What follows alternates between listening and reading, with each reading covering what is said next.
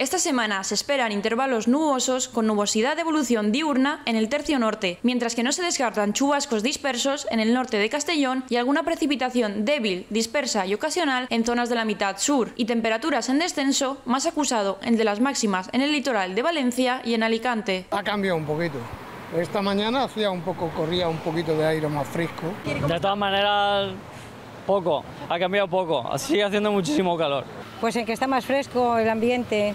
Estos días, nosotros llevamos aquí dos días que hemos venido de vacaciones desde León y el día que llegamos era matador antes de ayer. Uf, un calor exagerado.